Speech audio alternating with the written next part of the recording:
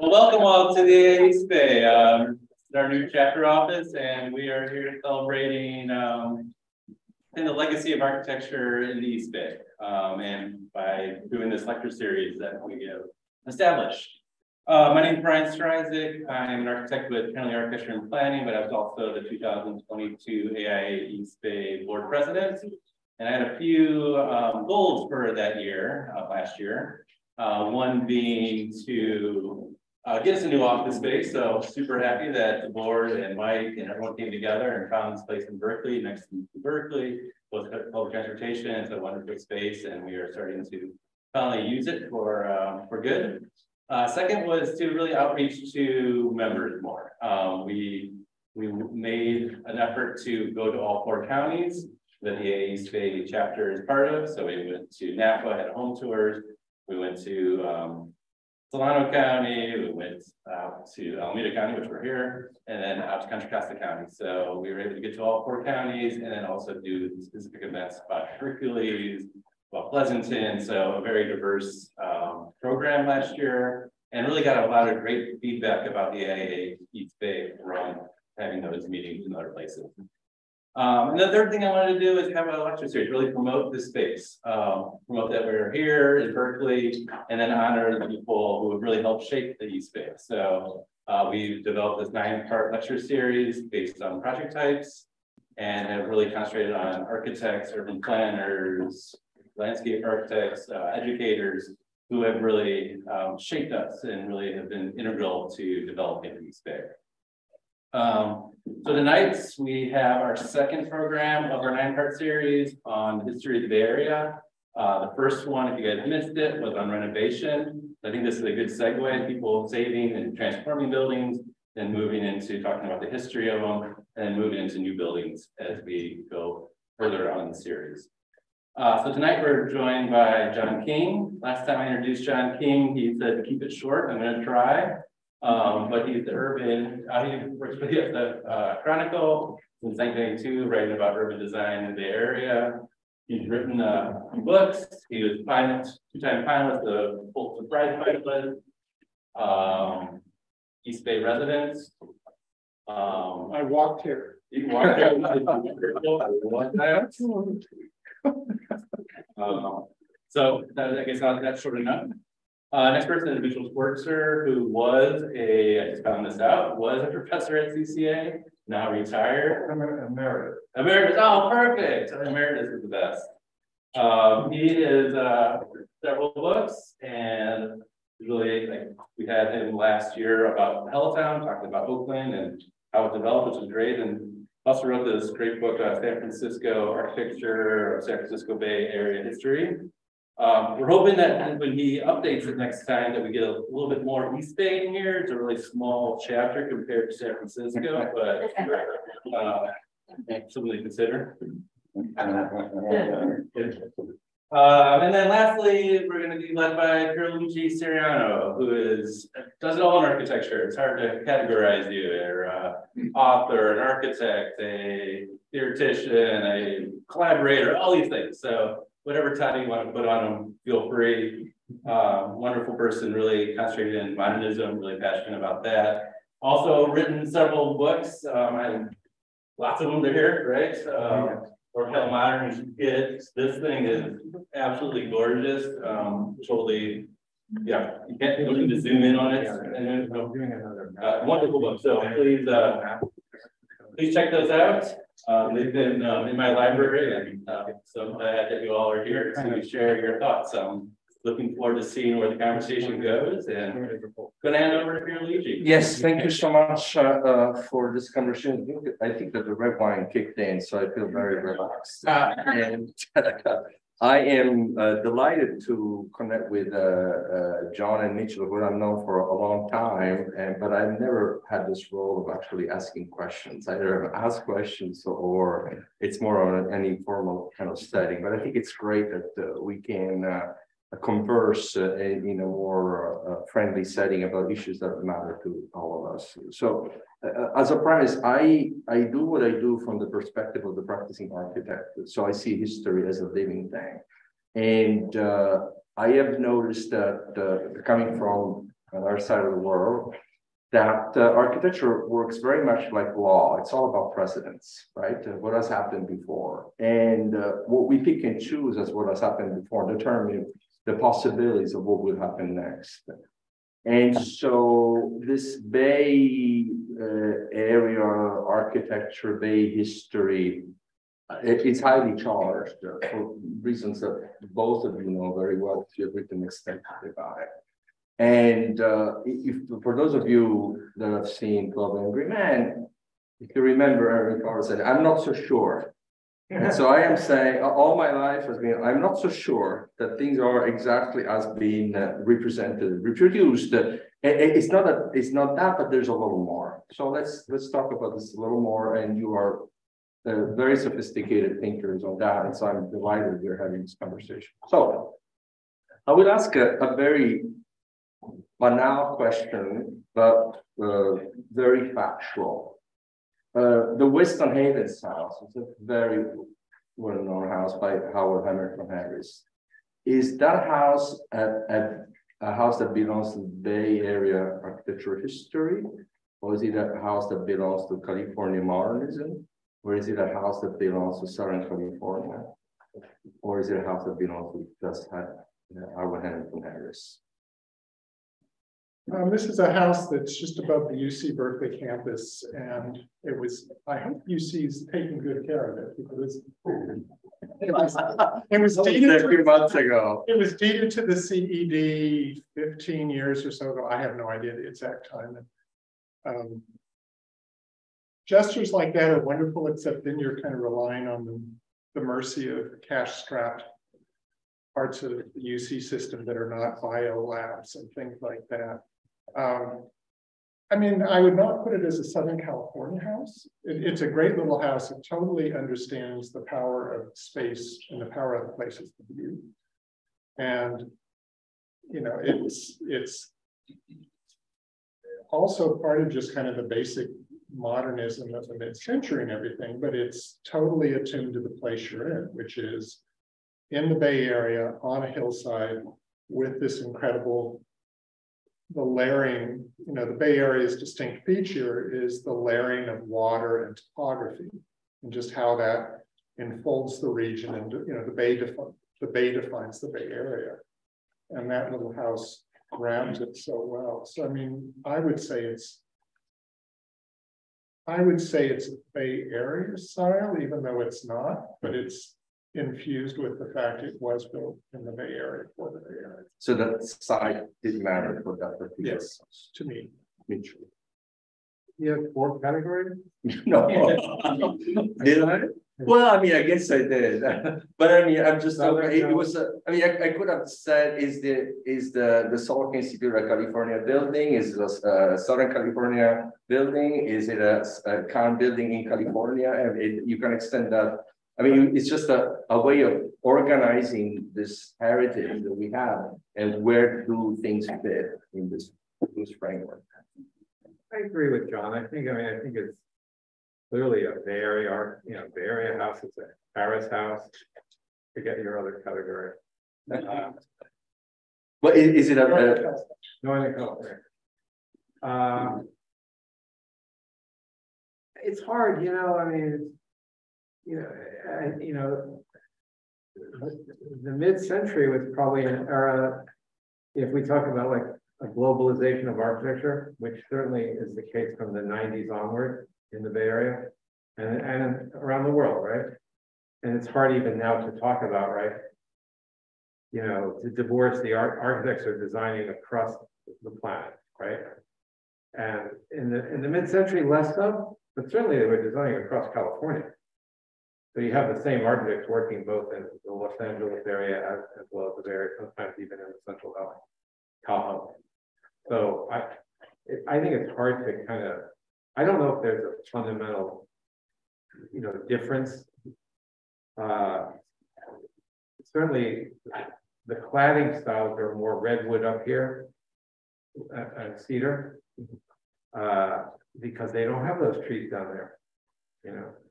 Uh, but they have a lot of the things that, you know, what, what John talked about, you know, certainly the, the, the ocean and the sky and the, and really precipitous topography, they have it, just like we do.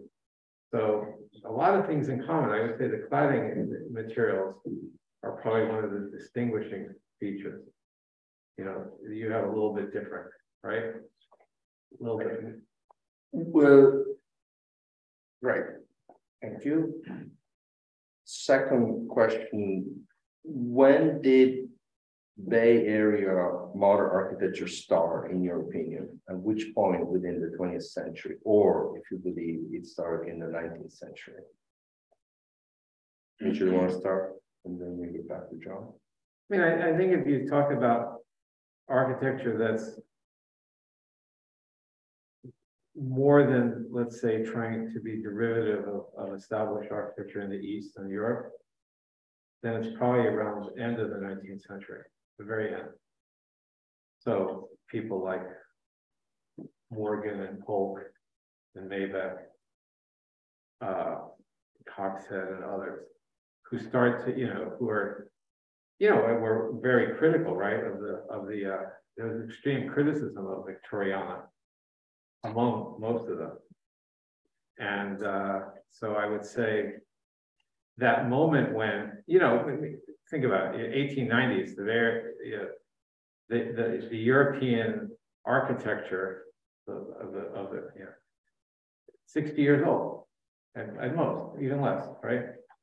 Uh, so maybe, you know, less than half a century, uh, and mostly bringing buildings from the East Coast, literally the whole building, or, you know, which was a common thing to bring, you know, ship the building.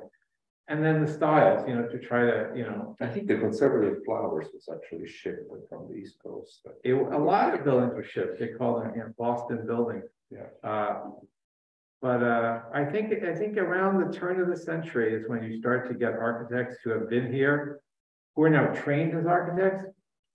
You know, because the profession really starts training people in the late 1860s and 70s uh, or you know, in, in, the United States and or who've been to Europe. And I think by that point, you start to get architects of a higher level of sophistication who are resistant to just taking established styles uh, and, and mimicking them, you know, and want to do something that uh, I think it starts to accord with what we consider to be modernism, which is matching the architecture to the people who live and their, their needs, the kind of unique functions, matching the architecture to the climate and the topography, to the building materials, to evolving constructional technologies. You start to get that already.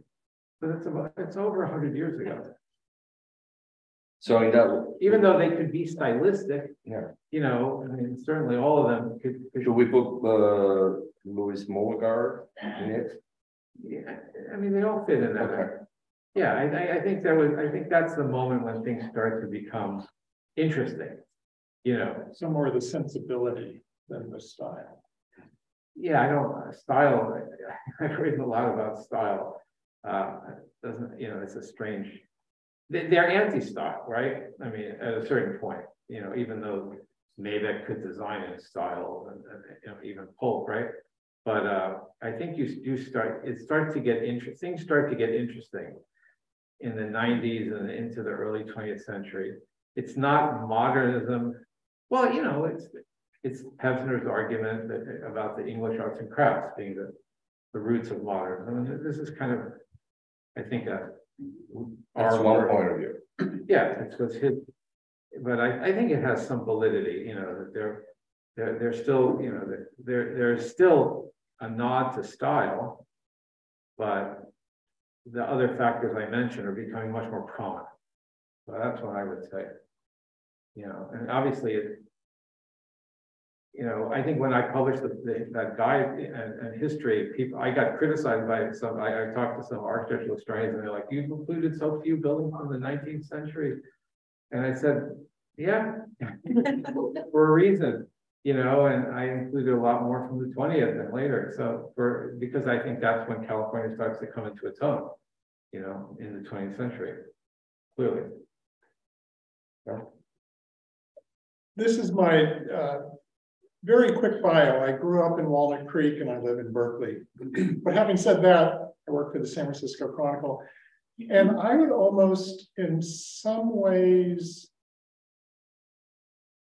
And I think everything Mitchell is saying is right. I think in terms of just a pure thing you could see and go to and say, this is when there was a different air in the wind, so to speak, or breeze in the air, whatever, um, would be something like the Hallidie building. You know, the curtain wall that Willis Polk did, which, I mean, Polk did a variety of styles, very much infused with this fighting for a modern sensibility in the Bay Area. There's a collected book of his reviews that he did anonymously, I think anonymously, like in the early 1890s, where he just excoriated Oh, yeah.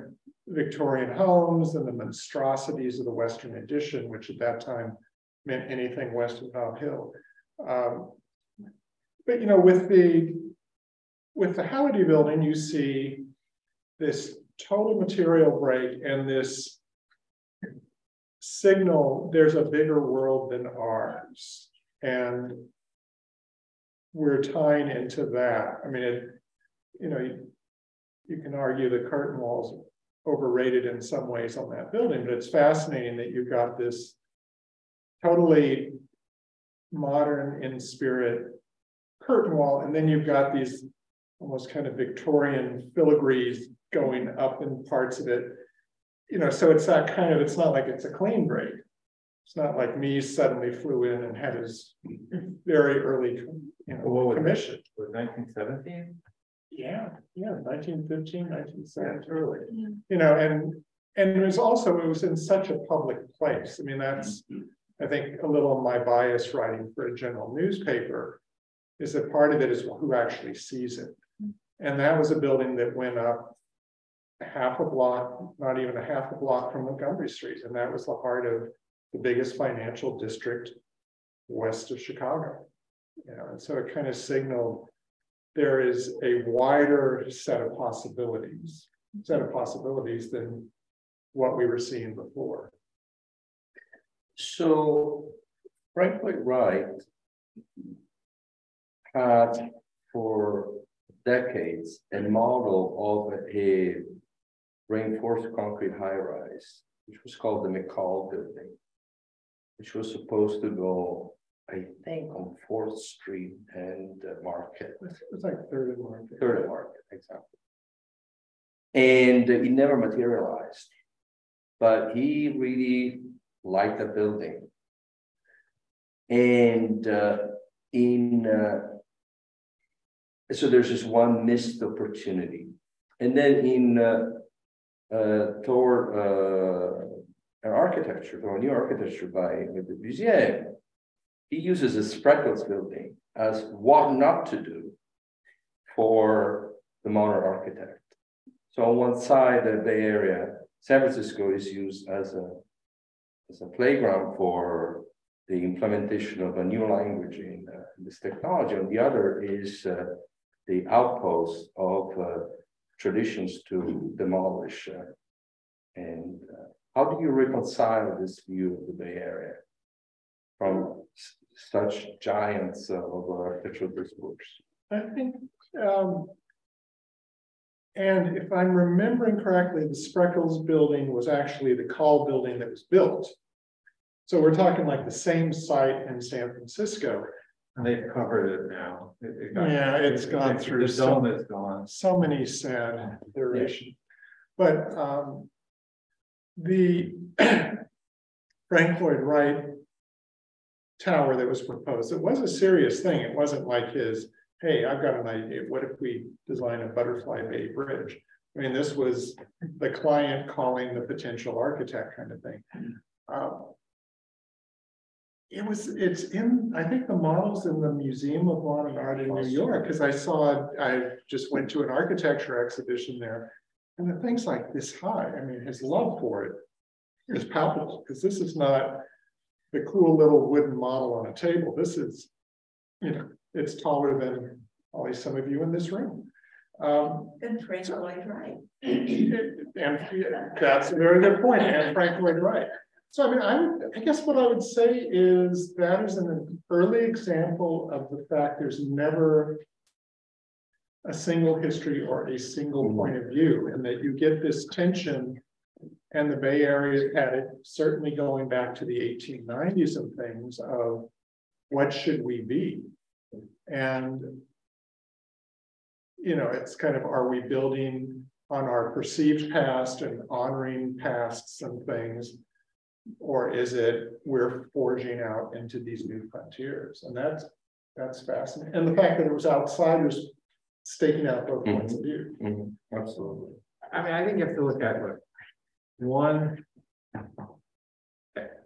We're very far from other places in the world, especially then. Although closer than we had been, right? Once you get the uh steamship, the steel hulled steamship in the eighteen seventies and then and the railroad. But I think that the that kind of. There's a kind of desperation uh because of the distance. So on the one hand, I think, you know, you see in California, so LA fits very well with this too. It's not us alone. There's a tremendous enthusiasm for new technology. It's no accident that the, I think that the computer, the microprocessor was first built in, in nineteen seventy-one. Uh, the computer, personal computer kind of made its arrival here more than anywhere else, and the internet, and so, and so on and you look at the, you know, the growth, you know, all the kind of communications technologies like film and photography, the modern communications technologies, radio, they were all, television was invented in some say by Philo Farnsworth in San Francisco in nineteen twenty-seven. So we, there's this fascination with new technology, but in part because people want to connect with other parts of the world. So mm-hmm. it's a kind of dual, you know, they want to and then, you know, we, very, very enthusiastic, as we must, all of us know, in automobile adoption, right, through the early 20th century. Really enthusiastic for airways and, and airfields. So there's that, right? And then there's, you know, so there's this very reaching out and making connections and California becoming, trying to become a node in a worldwide network, which fits with and then, but then you look at architecture, you know, the field of architecture, right? I mean, what's so striking to me uh, in the, you know, uh, is that architecture wasn't a global discipline. Frank Lloyd Wright is really an outlier, right? He's unbelievable in terms of, I mean, this guy is building everywhere from Tokyo you know, to Florida, to California, to the Midwest, you know, it, it, you can't go anywhere and not run across Frank Lloyd Wright. But there's no one else like him, really. There's, it's very unusual, right? Certainly in the first half of the 20th century. It just, you don't see that. You don't see McKim White coming out to California, you know, and, and the like, you know, and there's this gradual, uh, gra architecture gradually becomes much more international but it's unusual, you know, so there aren't many examples of other architects, you know, you know, designing here, you know, it, it, it's really the 30s when the Germans come over to the United States, and then after the Second World War, you start to get a degree of internationalism, but it's really nothing compared to now. I'd say, so I'd say the last 30 years much more extensive. So I think there are these dual these dual factors going on. On the one hand, California wants to adopt technologies, wants to connect with the world, wants to uh, be part of things, and at the same time, and, and so that points to well, some of the things they want to be part of are kind of old-fashioned and traditional. Like I, I, I still lament. I live near Piedmont, like right on the border of Oakland and Piedmont, and I walk in Piedmont all the time. It's very nobody there, you know. Really, it's like it's almost like a park uh, but not quite. And I, I, I, you know, what are the percentage of really interesting modern buildings in Piedmont? Very few, very few. And the same, Berkeley might have a few more. San Francisco, not that many. Still, if you walk in St. all the neighborhoods, right, that were developed, you know, and, and you wonder about that, right? You say Los Angeles has the same issue, right? A little more, maybe, uh, but there's a tendency, you know, for developers to hire firms that do more traditional work all through the the twenties, thirties, forties, fifties, you know. And so it's a countervailing tradition in California. So on the one hand, and I think another, I, I would, I would add to that is, um, you're talking about a society that is so different, let's say, than Europe for sure, than, than France or England or Germany, but even different from Philadelphia, New York, Chicago. You know, the, the, the clients, most of them weren't from here, right? They moved here. Everyone moves here. Uh, so I think when you start to think about the social environment of the clients and and even the architects who moved here, a lot of them moved here.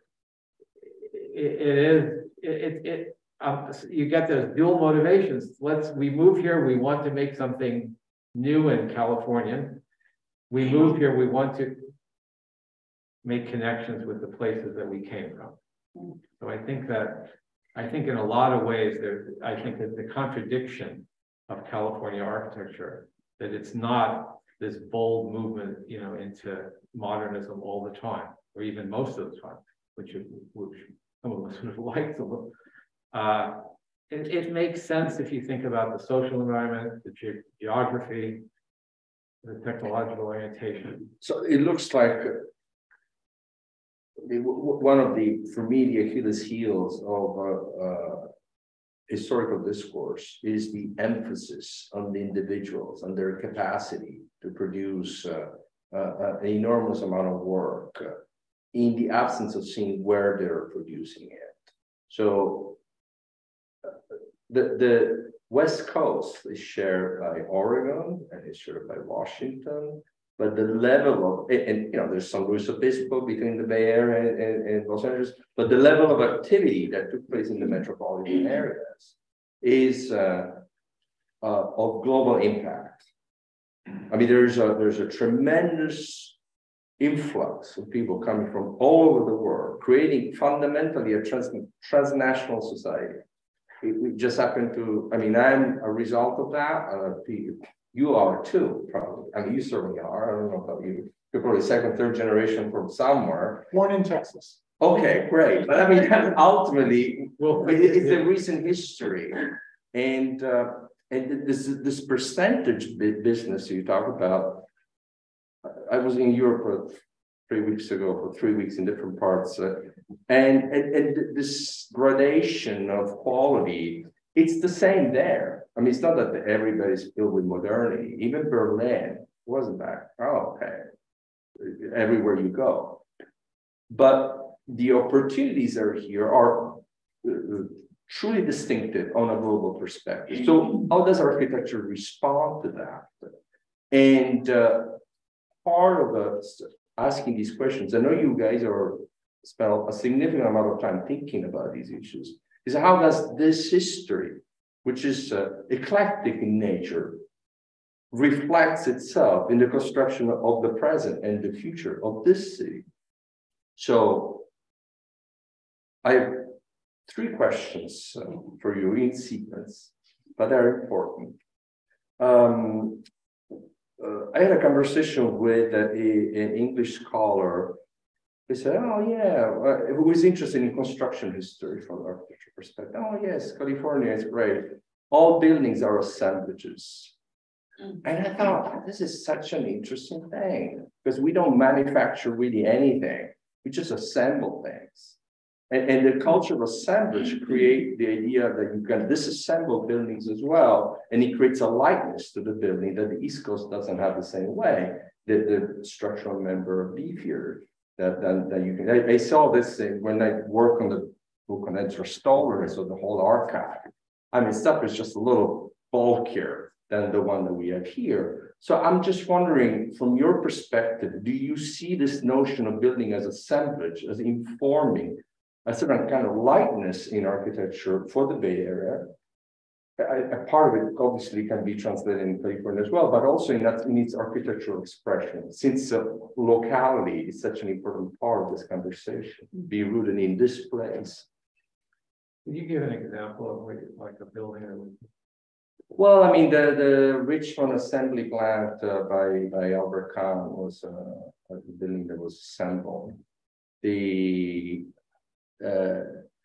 buildings that don't have a technology where you need to pour concrete, but it's just a prefabricated shift and, and assemble. That's the idea of, uh, of having buildings that have a lightness and movability and therefore a transient element into them that they're gonna they're not gonna stick around anymore. And so inevitably the, the, the urban fabric has uh, a, an ongoing transformation taking place, which happens in all cities, but here seems a, a, a particular. This is from an English architect. Uh, yes, so, but there, there's this whole there's a there's a um, but it was an English scholar. There's there's a, a magazine called Construction History, and it, it all started with some observations by John Summerson in the 80s, and he just kept going. And they are looking at the, for example, the production of steel versus the production of concrete we have a production of steel in the United States, therefore we have a steel architecture. There is no production of steel to the same level in Spain, therefore they have a concrete architecture. And you know, glass and copper and everything else. So I think you can. I think, I mean, a big part of the California vernacular is, and this is not in the architectural history books, but just simple things like barns and sheds and everything that you see, you know, you still see driving through um, Sonoma, driving through the Central Valley, driving the road up to Sacramento, 80. Um, you could do that because of the climate that you, you know, a lot of part of the country, you have to, you know, until this winter, you have to defend against very big storms. And that wasn't necessary elsewhere. And then I think also, um, the forgivingness of the climate kicks in with so much of the growth here was kind of post World War II. And, and again, I grew up in Walnut Creek. And uh, if I was an architectural historian on an academic staff with tenure, I mean, the vernacular modernism that you see in these suburbs that grew fast is just wonderful. And it's stuff that's never going to get preserved, unfortunately. Like um, if you're ever in Walnut Creek, there's this incredible to me, and I have no idea who the architect is. I, I it's not like you know somebody. It's not like Chuck Bassett went out there to do a miniature or something. But it's um, a cleaners, and it's a cleaners that consists of double height glass and concrete block kind of forming the brace, probably the stairs are behind that. And it's just building that's just pure modernism. And it's just some guy had to build, Walnut Creek grew really fast in the mid 50s to mid 60s. Somebody needed to build a cleaner. So they hired some probably architect who had leafed through some book and thought, well, this is cool. And you don't need to worry about, oh, but how will it keep out snow? How will it keep out hurricanes? And so you just have, you know, if, if you were to drive up into, uh, there's um, much closer, is in El Cerrito. There's the horrible shopping center by the El Cerrito BART station uh, with the Luckies and things. That's just horrible, horrible, horrible. And it's gotten better with age. It's not like I can see the virtues of it 20 years later. Uh, there's this little building that is on the, the street just north where it goes out. And you come down from the BART station, just before you get to San Pablo on the left, this little brick building with these super steep vertical columns. Um, but I mean columns, like kind of arches. So it's this modern building with these brick arches, compressed, double height. And It's like, who did that? Where did it come from? And it's got like a recess, almost colonnade within it, except it's only about eight feet wide. And, you know, it's just the kind of thing that probably was just built by some clever local guy with a contractor and they just tossed it out and forgot all about it. You know, there's a lot of that stuff. And I think that's a testimony to the lightness of the area, mm-hmm. that you could do something like that you know, I, I, it's, it, it's interesting when I remember being in Britain and talking to a, a, with a Frenchman, and you know, he was like, "This is not architecture; it's all brick, not substantial." In France, we have stone, and he was very critical of English architecture for that reason, all the brick. Then, of course, if you come to California, you'd be like, what is this just wooden, wood framing with stucco, this, you know, or this is not. So I think it, it depends on, you know, your cent, your distance from the metropolitan mm-hmm. center, which was Rome and, you know, solid, you know. I, it, it, I, I think, yes, of course, climate allows, a, allowed our, you know, the design of buildings. And San Francisco is probably one of the most, I mean, can you think of another world city that has as much wood as San Francisco? I mean, I don't, can't think of, you know, Helsinki, what, Helsinki. I was in there last year. as much wood everywhere? Oh, there are a lot. of it. Yeah, I, I was there, yes, but not like, San Francisco's a wooden city, I mean, it's, it's remarkable. Uh, and it makes sense, given, you know, the, ch- it's, uh, you know, cheapness of construction, right? Thermal hotel, What? Yeah. Paramount Hotel, I mean, yeah, and there were a lot of large buildings, large wooden hotels that burned, because they're, a lot in the, in the Bay Area. So, you know, I think a lot of the, you know, it, it makes sense that there was, you know, I mean, steel is interesting, you bring up steel. We, you know, there's no, there's no iron ore in California. Mhm. There's not even any iron ore close to California. In fact, in California, when there were steel plants in San Francisco and Berkeley and Oakland, it was mostly recycled steel. that they, they would bring from elsewhere. And when they built products with steel, they were actually assembling them rather than using the word assembly. They were assembling the products rather than, you know, building, you know, actually forging the steel and then using local steel. They were taking steel from elsewhere, and just assembling. Uh, even though we had, you know, automobile assembly plants, but there was, so the, the closest steel is in Utah. Yeah. And there was only a short, and they, and it wasn't economical until the late nineteen fifties. And that's when you get the first big steel plant. US Steel opened the plant in Pittsburgh. Uh, and then closed it thirty years later. Didn't last very long. So it's funny, yeah, we think we, you know, we, we had, there was a lot of building in steel, but it wasn't from a local steel industry. Uh, and certainly to this day, right, when you look at any, you know, what's, what's going up, if it's seven stories or less, it's gonna be wood on top of a concrete base, right? So it- we're still building in wood, you know? Uh, and I think even though now it's much easier with container shipping to, to shipment, you know, to ship the materials elsewhere, but I think it's, we, we didn't, we, I don't think we built in steel as opposed to concrete because of local steel production. So it's, I'm not, I, I, it's more of an American phenomenon, right, across the country, right? Well, it was particularly pronounced in California precisely because it was so remote and then uh, the- More steel than elsewhere. Well, no, no, no. I mean, the idea, the idea of, of uh, thinking of building as an assemblage, of, of, of, eh, which means fast construction, which means uh, also uh, easier also to dismantle, and this uh, this uh, immobility of the building, but then they become mobile precisely for the very reason. And so it, it creates a new notion of the city itself that So keeps that uh, goes- constantly It goes changing. back to the balloon frame, right, also.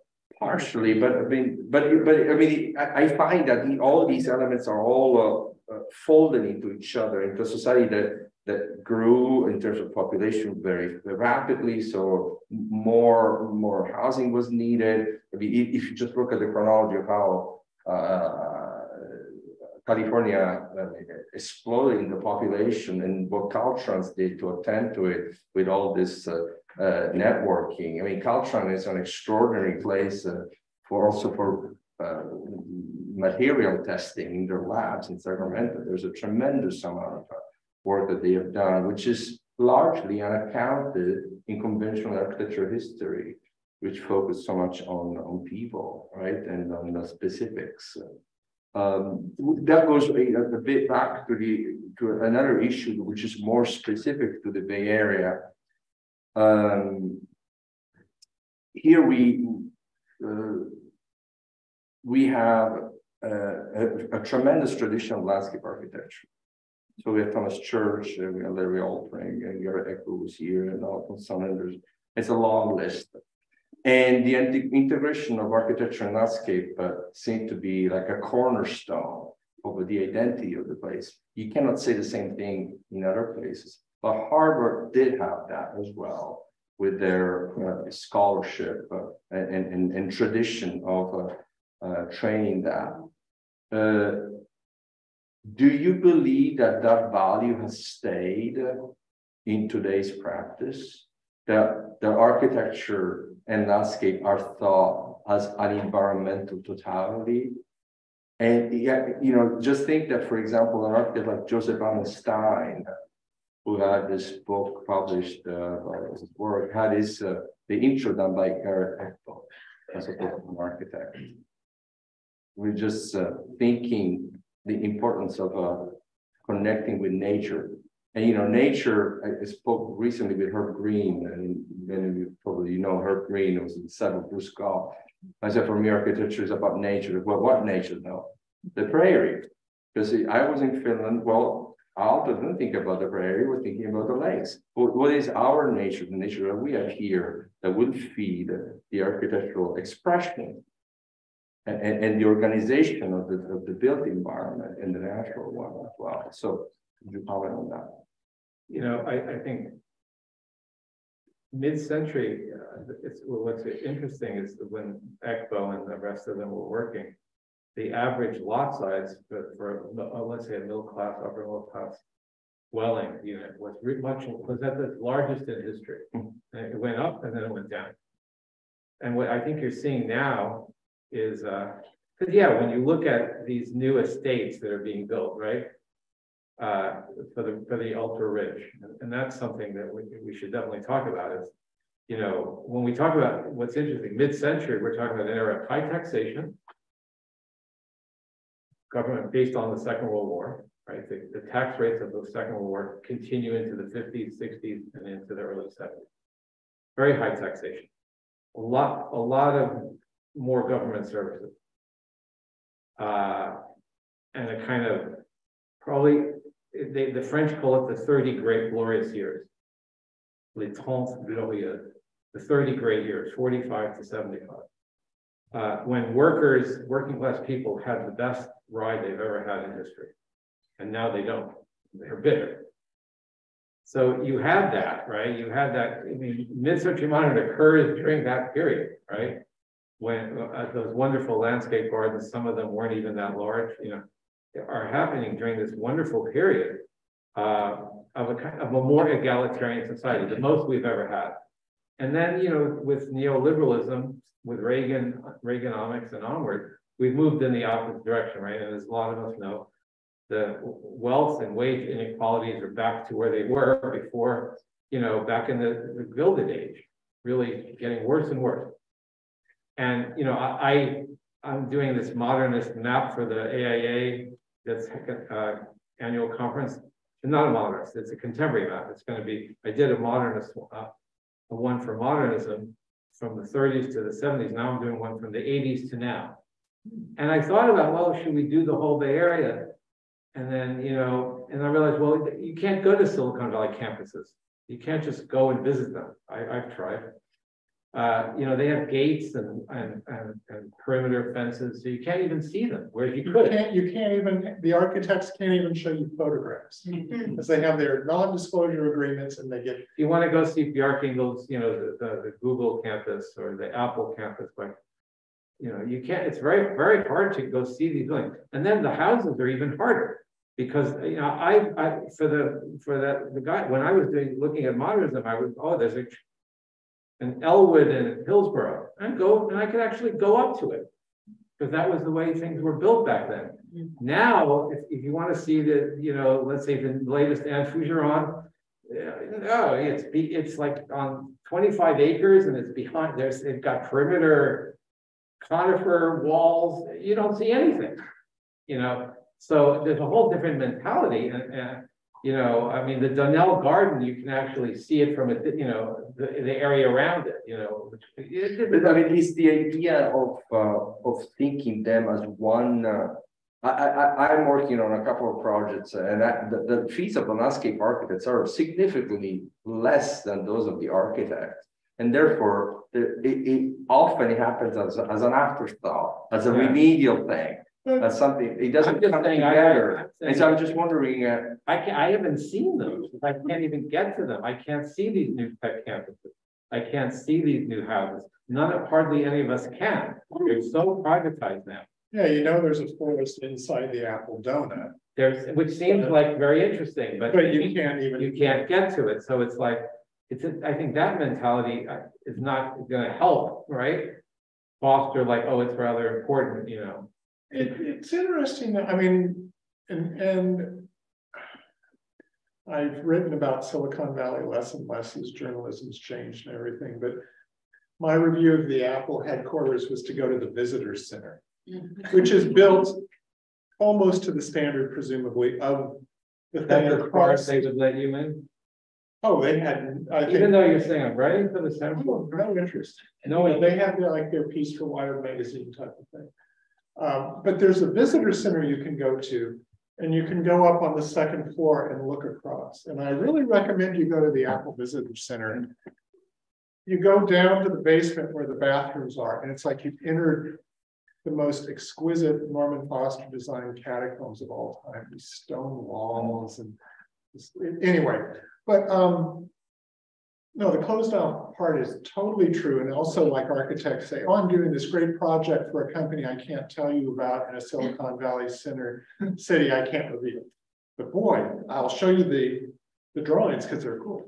But I would argue though, landscape architecture in the, at the public scale, um, the Bay Area tradition has held on very strongly. And I think in some ways, it has continued to grow and morph in a way that the architecture communities have problems with, like in the time I've been writing about this, because I just get the impression the cost of living is so high. You know, in the last, we'll say 10 or 15 years, I started writing about architecture and urban design in the early 2000s.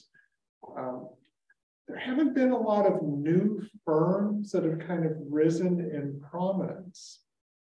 Not that firms from the 80s or 90s don't get good new staff and keep a strong heritage going, but you don't see a lot of new blood. And landscape architecture, I think you see more of it because there's an interest in, and this goes back into like it or hate it, you know, Market Street in San Francisco. We're going to bring in Halprin. We're going to bring in, you know, we're going to do this public landscape that's really designed, which I don't think you have as much of elsewhere. And you're even, even, I think you're completely right, I think. You look at the last fifteen years, from Crissy Field. To the Salesforce Garden on top of the transit center. To the tunnel tops and the, and the batteries. It, it- there was never a period when you had that quality landscape architecture in public parks. In San Francisco. There's something like Crane Cove Park. Crane Cove Park is great. Yeah, I mean, Crane Cove Park is an example of that. There's so many of them now. Uh, it's not happening in the East Bay, Or Brooklyn Basin. a little bit, that one part. Township Commons, right? I think it's part of the East Bay is a lot poorer. San Francisco has money, unfortunately. You're not seeing a lot of it in Berkeley and Oakland. Uh, uh, but No, but, but, but, I'm gonna Really? interrupt real quick and pick up on Brian's, because like, at Brooklyn Basin, you've got Township Common, which Einwiller. Neil. Kuehl. I know Sarah Kuehl, but like, putting her at the back of me. Um, you know, and these are two young architects, they left, are youngish now, but they left Peter Walker's firm. And you have a local developer who wanted to show some local cred, so he'll hire the local landscape architects, and they just did this incredibly imaginative thing. And that was very much, it just kind of bubbled out of the east of the East Bay. And, you know, it's the architects, though, he kind of hired your basic knock out the eight-story housing box or the twelve-story housing box. firms. Yeah. So I'm, I'm glad that, uh, landscape architecture is healthy.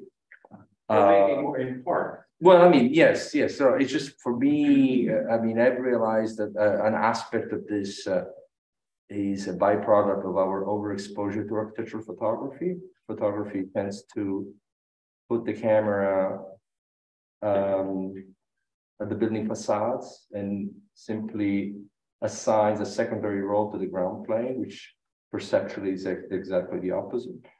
And so people, I mean, architects get enamored with random patterns and all sorts of things uh, at the expense of the actual ground condition, which is what we, it's hard to get fall in love with ammonia, in as much as uh, the hardware can be engaging, but uh, give me a bench.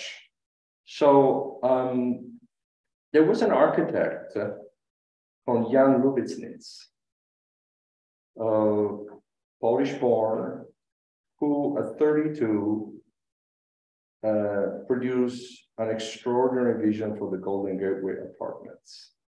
In thirty-two. Uh, I was, thir- he was 32 years Oh, old. he was thirty-two years. I mean, the first phase.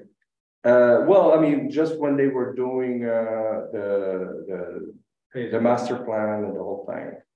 And then he won, uh, uh, one competition after the other. Uh, the one at the Golden Gate apartment was praised by Yamasaki and Kahn, they were in, uh, in the jury. And Then they did- another one, Rock Hill Housing. He partnered with Marquis and Stoller. And he never built a thing. They never let him build anything. He only, he only built one project uh, for, because at some point you have to make a living, he just couldn't go on like that. And he built, he designed for John Bolles, uh, the McGraw Hill distribution plant in, um, on the way to Santa Rosa, which we always hear about, the Birkenstock. Oh, he, So he's the one that did. nice, yeah. It's a fantastic. Yeah. So I, his archive is at the San Francisco Public Library, someone hit me up for that. And I was just completely blown away. There's no mention, I mean, I wrote a paper, it's yet to be published, but uh, there's no mention to him in any history books of any kind.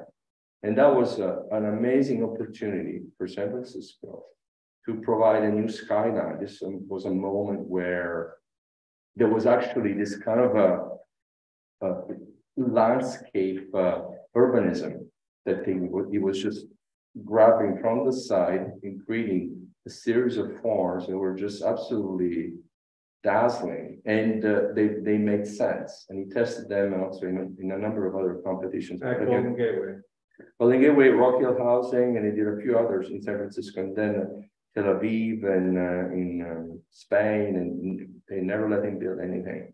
Were they, Uh, like a. Well, I mean, it's just like, uh, you get the first prize and they, it's like you get But I can't build. 10, 10 Pompidou centers, you never built one and then somebody get But first. He actually somehow didn't. Well, I mean, his, his didn't get built, but, but the issue is that he was here with San Francisco. He lived. And he lived here and uh. To the best of my knowledge, uh, Wurster kind of crushed him. Because he was very young. So this is kind of a textbook case of uh, an opportunity for a young. Uh, voice to emerge in a, in, in a way that would significantly change the skyline of the city. And it didn't happen. It, do we have in the city a history of these missed opportunities? Or do you see more realizations uh, uh, throughout his 20th century, and now well into the 21st century? Um, what's your point of view on this? Uh, is the city welcoming of these uh, revolutionary ideas? I'll just answer real quick. Um. I'm working on a book about self-promotion, book about the ferry building that will come back, uh, come out in November and. uh, The middle section is the period when the ferry building was a relic and just what do you do with this thing, like from nineteen thirty-nine to nineteen eighty-nine. And the focus of the book is all the unbuilt visions that came along, and some were the big establishment ones. But San Francisco has a fascinating. like a shadow landscape, and some of it is the real visionary stuff, it just was. Not connected or too far ahead of the curve or anything like that, and in some ways, any big city has a lot of that, but. San Francisco is fascinating. And, you know, my editor, I turned in the first version of the first draft and he was like, I don't want to read about a bunch of stuff that didn't get built. So it's kind of like, so my, my unbuilt, my, my many segues into the unbuilt landscape became the unpublished part of the book. It's like, pick one per chapter. No, it's, it's, I think San Francisco, you get this real creativity, but it also, it runs up against reality. Like the Burnham plant. But I mean, is it a reality of, uh, of, uh, uh, a conservative, conservative real estate approach? Because, you know, the Transamerica Pyramid was built ultimately, and it was a, a kind of a different building. But the US Steel building wasn't built. Well, I mean, I'm sure we, we, we have plenty of other buildings that were not. That was built. supposed to be on, a on pier, on, it was built in the supposed to be in the bay. Kind of egregious. Well, there was also, uh, Buckminster Fuller had a whole trapezoidal thing in the middle of the bay that, that were going to be built. And there are utopian projects, uh, just because, that there are real things that could have been built. Kenzo Tange Sports Stadium. I mean, I remember when I was a Skidmore, Brand needed a Sofitel building that was fantastic. It was fantastic. I just couldn't believe they didn't build it. It was so obviously beautiful. And that was, this, this was on second and uh, mission near Yeah, first, you remember. which Near it was approved when I started writing and then it fell through and then something else was gonna get built and that fell through and then it was gonna be Norman Foster's hotel to go with the building that's now a hole in the ground. It's a, Oh, yeah. it's a jinx site. But it was a gorgeous, yeah, it was a gorgeous. Yeah, Yeah, but that's, uh, I would, I think that's pretty much every city has that, right? Has these things that didn't happen.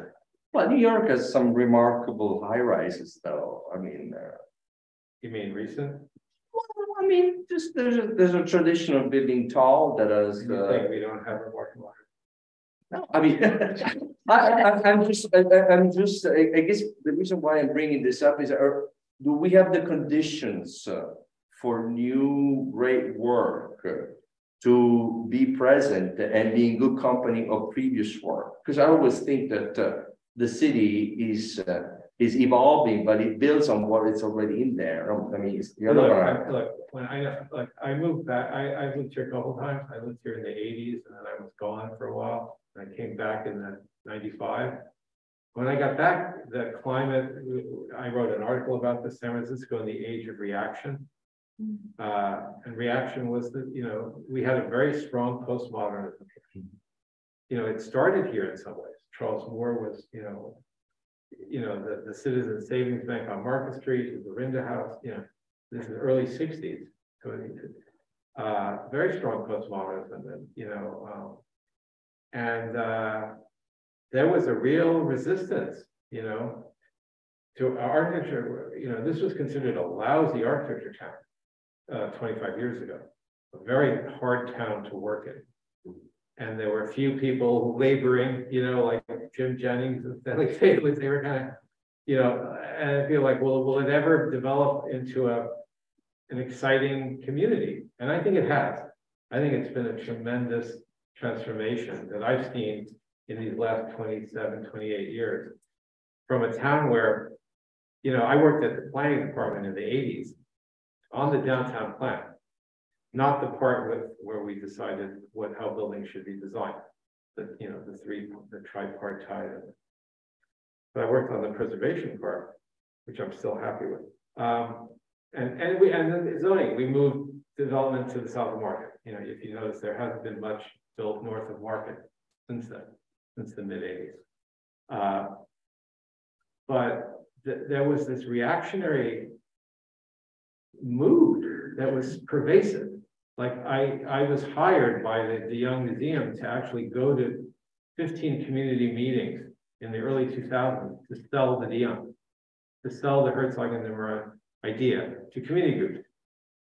You know, in like the Lake Street Corridor Community Group, the Outer Richmond, all these groups, you know. And so I heard, you know, firsthand the attitude. You know, people like, well, I remember my, my favorite story was someone was like, there's going to be a tower. And I was like, yes, there is. There's, there's part of the plan is a tower. They're like, does that mean we'll see it? And I was like, well, you know, the word tower implies it's a tall vertical, uh, you know, structure that is seen from long distances. They're like, oh, no, then there was this brick, brick, you know, we don't want to see it. They wanted a tower you couldn't see, uh, an invisible tower. But, you know, and I think, uh, uh, and we were trying to figure this out, you know, this mentality, because it was in Berkeley too a lot, very strong. Bert, you know, the BAHA, you know, uh, the heritage group. And, you know, we thought, well, it had a lot to do with the fact that people came here from elsewhere, and this was, they found paradise. They didn't come this winter, you know, where they found sledding and snow, but they came here and they found paradise, right? You know, and they didn't want it to change. That was kind of one of the, they wanted it to stay the way it was when they got here, a village, as opposed to a real big city you know, and uh, and I think that that was an that so we I think we suffered a lot, you know, in through the 80s and into the 90s.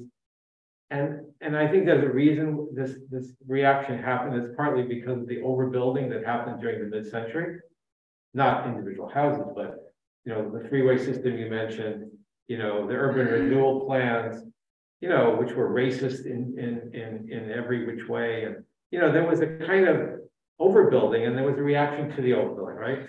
The freeway revolt started in the panhandle, in the Haight. Mm-hmm. You know, when the Haight was a really interesting neighborhood, but it's the, the part of the Haight genesis was reaction against, you know, so I think it has changed. I, I think it's gotten yeah. much better. So, you know, but I feel compelled to play the 12 angry sure, sure, sure. role in the sense that there was always a modernity in the Bay Area, always. In the 80s? No, in, in the in the 20th century, there was there was uh, there was uh, uh, the work of Ernest Ransome, uh, uh, the engineer that kind of um, patented the twisted rod the same time as Hennebique was doing his work in France. Uh, you know, California Academy of Science was on Fourth Street, was an incredible building, and we did back there like four inch uh, slabs, and nobody ever seen any of that. So the conditions for for primary work were present. Um, we had extraordinary architects doing work here. Mendelsohn came here. John Ekin Dinwiddie, nobody talks about him. He was a disciple of Saarinen. Extraordinary work that did throughout the 40s and from the 30s all the way to the 50s. Uh, um, Fred and Lois Langhorst, uh, smaller work, but then going into bigger work. Anshen and Allen in the period of Bob Anshen, fantastic work. Uh, Norman Foster was in Anshen and Allen when Richard Rogers was in SNL being kicked out by Jack Bassett. So, I mean, this is not a an occasional arrival of race. This is an ongoing place where people happen to arrive. But the representation of that history is particularly selective and it's very self-serving. And, and part of my work has been precisely to crack this open because you cannot account for Donaldson uh, using the Bay Region style.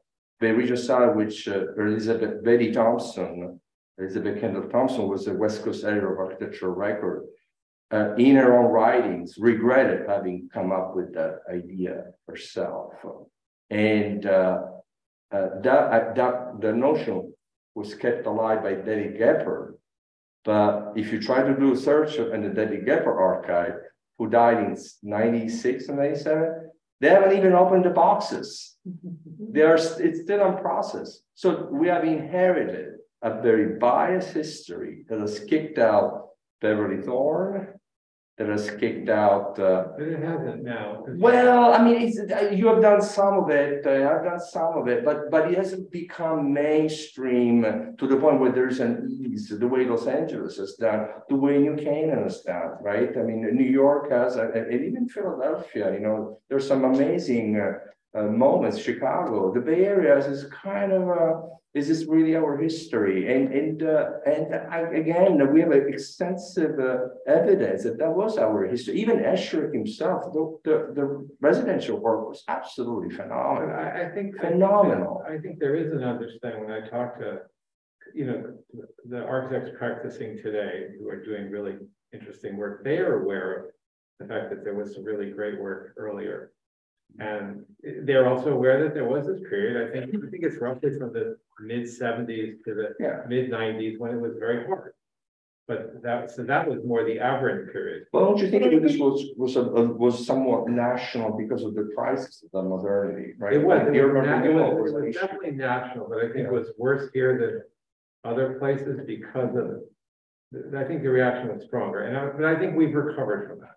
I, Well, but I think one reason the reaction was stronger was that you had these exquisite architects in the Bay Area, some homegrown, some from Germany and everything. And there was this interest as the city grew so dramatically in the sixties, there was this interest in turning to them. Um, and one could argue that they really botched the job. They kind of knocked up a bunch of big things that kind of so made the very concept of modernity radioactive at the grand public level.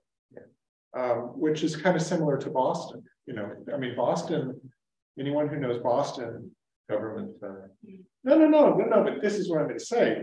The idea that historic Boston for about twenty years was this bubbling cauldron of modern art, you know, incredible buildings, like, hey, we'll hire Paul Rudolph to do a church. Hey, we'll have a national competition and give City Hall to these brand new guys. I lived in Boston in the eighties. That was not the mood of Boston in the eighties. It was like, like how Bill did. I think one thing that I haven't heard is that Bay Area has the Venice syndrome, I think. Unlike New York, Chicago, and other places, it's a gorgeous place. And it really drives everything, so people are afraid that buildings are going to harm the beauty of this. gorgeous that was the word. setting, They called it Manhattanization. That was the term. right? You know what's, you know what's ironic though about the whole thing is that. That what, what I think changed the climate for exciting new architecture was the young tech. you know, all those people moving in. But at the same time, a lot of people would claim they destroyed San Francisco. So it became unaffordable, it became homogeneous. And yet you could build interesting modern, you could build interesting architecture now, and that's the kind of situation we have. We have these wonderful new parks, a lot of great new buildings. But a city that has become more homogeneous than at any time in its history, I think, in terms of where people work. You know, it used to be that people worked in shipping, or they worked in the railroad industry, or they worked in apparel. Or they worked in uh, food, food com- companies that do with food, or companies that had to do with apparel, you know, with uh, finance. All of that, almost all of that's gone, right? That, that kind of diversified economy. There was also a huge blue collar sport and industry world, you know, employment. That's gone. And now it's largely, uh, you know, white collar tech. And so on the one hand, we have, I think, much more interesting architecture now because they're open to that. And we don't, we have a city that's become much more homogeneously rich and, and tech oriented. And so it's, it's, it's again, one of those contradictions that you have here. if, if possible, to connect between that mid-century period and where we are today, because these, these conversations and issues are very active, you know, here in two thousand twenty-three. Um, you know, bringing up, and so I'll lead to a question, a couple of questions for you then. So bringing up two places, um, two designs and two, I'll just call them tragedies. Um, you know, the Oakland CCAC campus, the Vernon DeMars buildings, the very particular Northern California vernacular regional expressions of, on the one hand, the painting studio with the redwood and the library and lecture hall with the concrete, you know, brutalist forms. And then in San Francisco, Paffard Keatinge-Clay Art Institute. Um, you know, both of these are on the chopping block, literally. And, you know, as we talk about in sort of romantic ways about the planning plan or about pole or whatever. You know, these buildings are from the late sixties and they're actively being torn down now. Listening to this talk about modernism here, I imagine folks in this room respect this building. But, you know, have we learned anything, right? I mean, Penn Station, rallying cry, the Imperial Hotel, rallying cry. But here we are in our own area, Oakland, North Oakland, they're tearing it down. Well, Penn Uh, Station, Downtown San Francisco, North Beach, they're tearing it down. I think, I, I mean. I- Yeah, so, so Head- Heading to the question part. So, you know, these institutions, they go broke. Let's remember that buildings are usually owned by institutions, private, government, et cetera. The institutions, they go broke and then the buildings are torn down. Um, it's important to have press that and local participation to be active about understanding these buildings and properly preserving them. And then I guess I sort of lead into, you know, your folks and your perspectives and expertise. You know, where does, where does or should preservation stand in those, besides the academics, but actual preservation? You know, we have things like forty million people here. We have a growing population, we have the housing element, which says we need to build more housing. So in all of that context, what should be saved? And then maybe on a more whimsical note, if you look back over, let's say, the last forty years or fifty years or something like that, what should be saved? So, um, you know, what should be saved and maybe some examples of that. At I, I, taught in the Founders Hall for twenty years. It, it, I, I can't even imagine what it's gonna be like when I see, if I see a wrecking wall there. It's gonna be really a hard moment. Um. You know, the college had a, had a ceremony to say goodbye to the open campus. And I was like, they're saying goodbye, but they're actually they're responsible for trying to tear down almost everything. I didn't say anything, I was about, you know, I wanted to, but it was like, this is, this is a a farce. They're gonna tear, tear down every, everything but the Victorian and the carriage house, the Victor, Macky Hall and the carriage. House. They're gonna tear down the Jennings Sculpture Studio, they're gonna tear down the Vernon de Mar, they want to tear down everything. Um, and I think it brings up this issue that has befuddled me ever since I've lived here. And it is the weakness of institutions in, in California. I remember going to the uh, Kimbell Museum in, in Texas, in Fort Worth once. And I was blown away. Not just by the architecture, by the collection. The phenomenal collection. It was assembled in the seventies. Sixties and seventies. And I, then I go to the de Young or the Legion, like, what happened? Why did they get a collection of that quality and we got you know, dross. And, and then why did CCA give up the open campus? Why did the artists go under? Why did, if you might have heard, Holy Names College has gone under. Mm-hmm. Mills College went under, was rescued by Northeastern. It's not going to be Mills College anymore. It's going to be Northeastern, at least there's going to be a college there. You know, there's, a- we are losing a lot of John F. Kennedy University, which was in Orinda, then in Pleasant Hill, they went under. Uh, it's so common now. We, we have so few institutions here. The Oakland Tribune is gone. There's this thing called the East Bay Times that is an unrecognized, you know. You know, the Mercury News used to be a quite a decent newspaper. It's not anymore. So we've lost a lot of institutions. The, you know, Oakland has lost two sports teams. It's going to lose a third. They'll have zero. So I wonder about these things, like what is, what has happened? You know, the East Bay Express used to be one of the best alternative weeklies anywhere. I remember it was a phenomenal, they had twenty-five thousand word investigative essays in the East Bay Express. Now, if you look at it now, it's like almost nothing. What has happened? What's going on? And, and, and I don't have a good answer for this. You know, why does Berkeley have no more movie theaters? Zero. We're down- only the PFA and, and the Elmwood. The downtown has no movie theaters from, from having like, I think there were like thirty screens at one point downtown. Now there are zero. I, I don't quite know what's happening because, you know, I've been, I've been wondering all along, like why we have this incredible concentration of talent and brain power and money. And yet we're losing institutions left and right.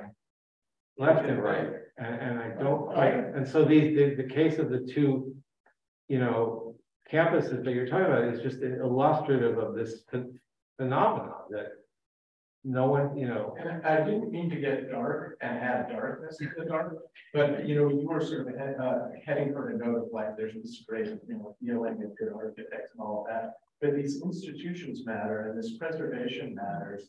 And um, we're talking romantically about some, you know, design themes.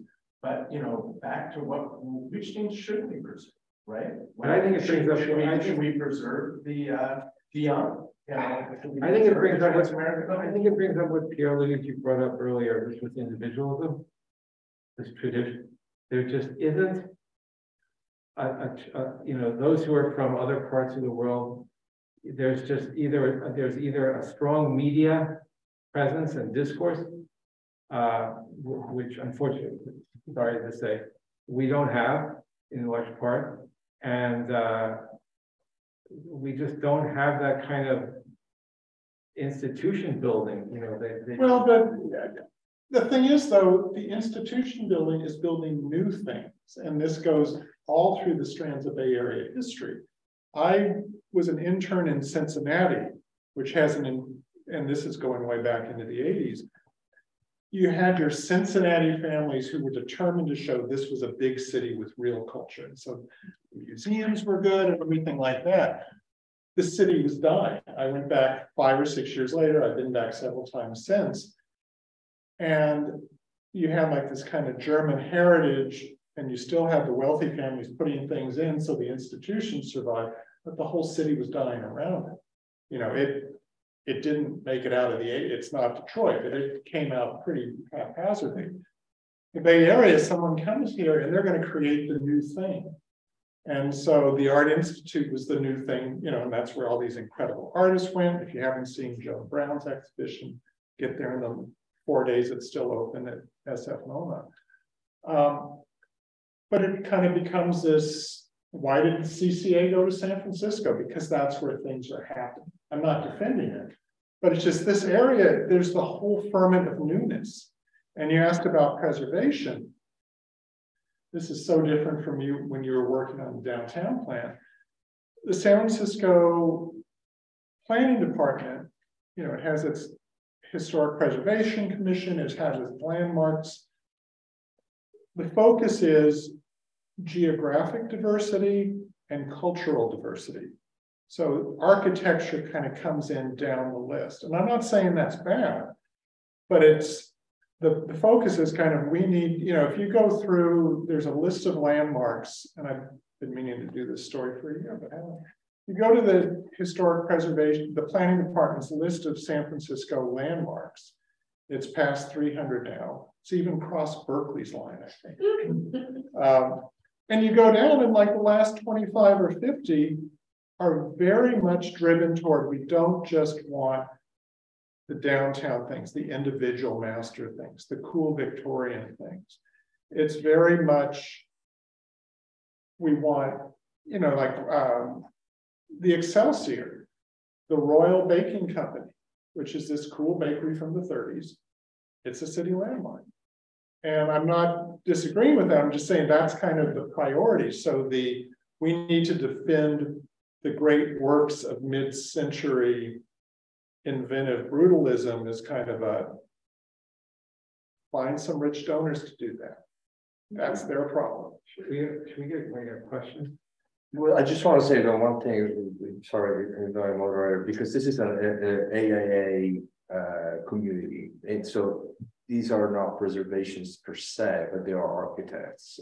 And I think that that this is where architects uh, have to use their lateral thinking instead of relying on what is listed as landmark. In fact, of uh, doing some kind of a design diagnostics of uh, is this building, does this building have merits for it, the way of handling specific portions of, of its siding, of its technology, of its, uh, because the, the fact that it's landmarked, uh, it's it's uh, a bureaucratic aspect.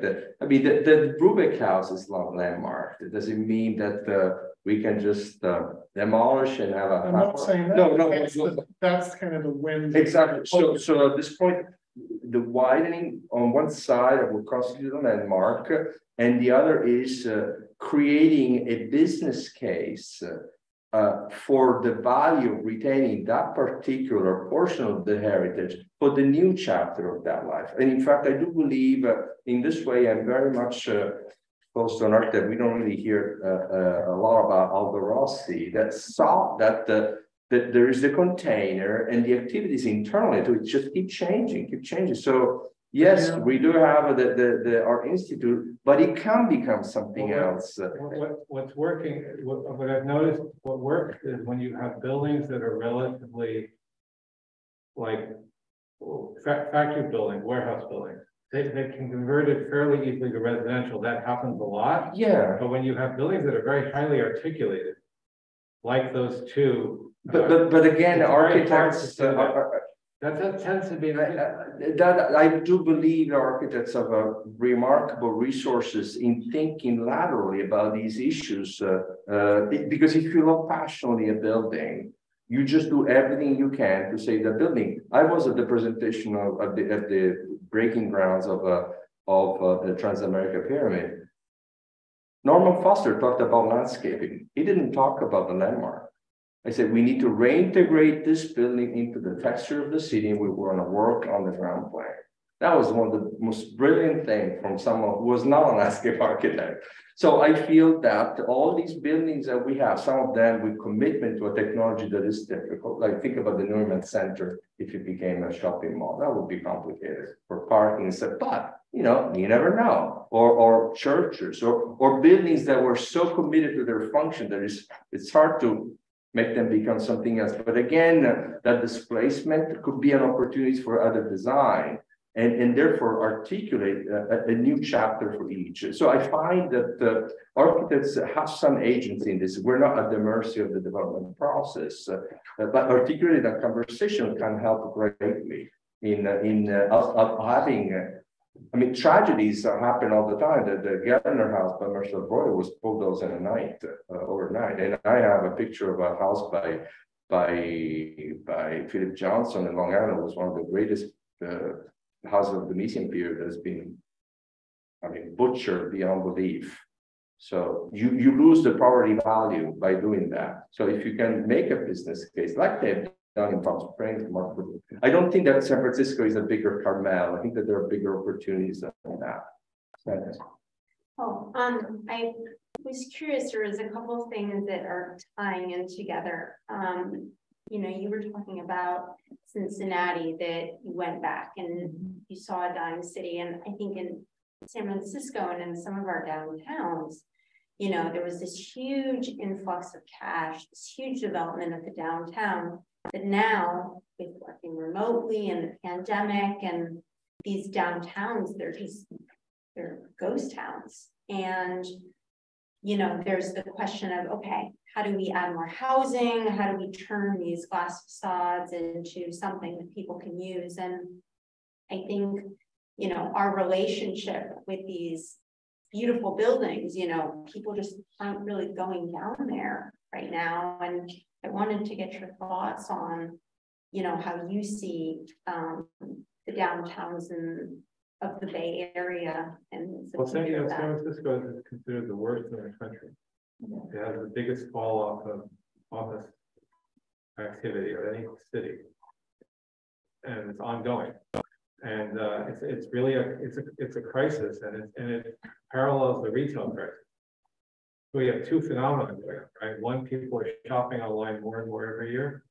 And there are fewer, you know, stores and and then, and then we have an office crisis now, that people are working at home remotely. And it's gonna, it's a tremendous challenge, I think, to the American downtown and to, to San Francisco, to Oakland. To any hopes that San Jose will have a vibrant downtown. And I don't think anyone has quite, any- doesn't quite know, we're still early into it. I'm not That's a huge. we're not huge, sure what, challenge. what's gonna happen, but you're right, it's a tremendous, it's probably the biggest crisis now. Uh, in addition, you know, if you look at the environmental crisis and the social inequality crisis, this is the third, you know. The, the, the vibrancy, because we're also, you know, everyone is pushing toward getting out of our cars, right? and living more sustainably. Well, how do you do that if downtowns are gonna be bereft? So it- it's, I, I agree, it's, it's. But isn't this an operational landscape urbanism? I mean, can these answers uh, be produced within the context of an interdisciplinary design theme? Because, because, it- I mean, we can reskin a building beautifully. I think And-. But still what happens at the ground level, you know, Yeah, that's just the issue. I think it's, a- I think it's a crisis of the magnitude of, I compare it to the automobile, when the automobile became, took over in the twenties. You look at downtowns in America, first of all, downtowns weren't what they were until the eighteen nineties, you know, they became something. They became these commercial entities, right, with movie theaters and department stores, right? And, and all sorts of commercial businesses, but they also, residents and industry left the downtown, right? So the downtown changed a lot, but we have this image, this remembrance of the downtown as this incredible, vibrant commercial entity. That when the automobile finally really took over after the Second World War, they went into crisis across the country. San Francisco much less so than others. Look at Oakland's downtown was in tremendous crisis. And it never fully recovered, I would say, from the, you know, from the sixties. And the same with Cincinnati, St. Louis, you just go across the country. So I think this new crisis, this new re, you know, online retail and remote work is something uh, in magnitude similar to the the, the arrival of the, of the automobile and then the freeway. And it's, and it's, that's taken a long time. That's been a hundred years that we've seen the devastation to down to, you know, to American cities. Um, this is just starting. So I don't, I, I would just say, we don't quite know what's going to happen, but I, we just have to accept that the magnitude is comparable. And it's, and it's just hard to say because. You know, a- city like Cincinnati, which is a terrific city in so many ways, I mean, that was these huge, large. Industrial forces. The weird thing with the pandemic, it's like kind of this quick hollowing out. And, you know, housing, you know, most of the city is still in really good shape and things like that. Um, but, uh, David Trachtenberg here, he and I were talking earlier today. You know, you look at Berkeley's downtown, which is a lot healthier than a lot of downtowns and has a lot of, it actually has construction cranes, it has development proposals. That's because it, you know, basically the university, the notion of town and gown has just been kind of, is being wiped away. So the downtown Berkeley will probably do pretty well because it's, you know, becomes kind of like a student neighborhood in some And it didn't have much office space to lose. Hmm. That's true. And it didn't have, and the retail. As long as power bar is there, whatever's at the top of the metal. Yeah. One more, you have a good one, Terry? Yeah. Closing one. I was going to comment, and it really goes back to the Cincinnati thing, and is there a difference between not only San Francisco, but in fact, the entire West Coast? I'd say starting off in Vancouver, going all the way down to Tijuana and skipping down to Chile, things like that. On the West Coast, we, we practice architecture, I think, with a lowercase a, whereas in Cincinnati, it's really with a capital A. In other words, it's the role of architecture and the grand buildings and things like that. And does that really impact how we look at when we talk about tearing down buildings that are critical architecture? Because culturally, we haven't embedded the notion of architecture into our popular culture. Yet, under the small case A, we've had those 30 years between the end of the Second World War and into the 60s, where the residential architecture was really phenomenal. I think that residential architecture, the connection between the home, landscaping, and place was second to none. But that was a lowercase. We have a different kind of view, and, and does that impact how we view things? Just super quick, and this gets back to what you were saying about the Venice idea of San Francisco. Tacitly, the landscape here is so much more important to people. Um, when I was starting out as a reporter, I was living in Boston and worked there. And journalism has changed. The Boston Globe flew me out. I, I pitched this idea like everything that Chicago holds sacred, Boston hates. But everybody will say Chicago's buildings are a lot better. Why is this? And then uh, to cut through all the drama of the story, uh, I buy you to find it online because it's pre-computer. Um, I talked to a preservationist in Chicago. Because it, you know, in San Francisco or in Boston, you down zone to the water. Because the whole idea is to keep the water low, keep it open. In Chicago, you up zone. And there it's the talking people is like, well, you know, the shadows are just going to fall on the on Lake Michigan. So who cares? And in terms of height limits, which Boston and San Francisco were very similar in the 80s and trying to pull the plug on modernism and pull the plug on anything new and adventurous. It was like, we don't have hills. We don't have a, we don't have a natural topography. Our topography are our towers. You know, so it's just different places have different mindsets. And here it's like, um, you know, my gosh, I'm going to get on my bike and I'm going to go bicycle down the Bay Trail. That's what I'm going to do this weekend. No, not this weekend. Not this week. Not for the last bit. But, but you know what I mean? It's just kind of like here, there's a different, the landscape is so different and the casual encounter with the landscape is so different that architecture gets knocked down to a small a, which is also why great buildings can get lost because there's a cadre of people who appreciate them and then a lot of the others are they're they're going out to Point Reyes then on Saturday. if it doesn't rain. Two Saturdays. Thanks all for joining. It was wonderful. Thanks for Eugene for uh, moderating.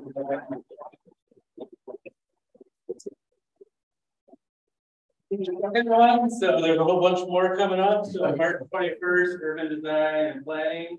Uh, so please join us here or in the future months after that. Thank you. Thank you.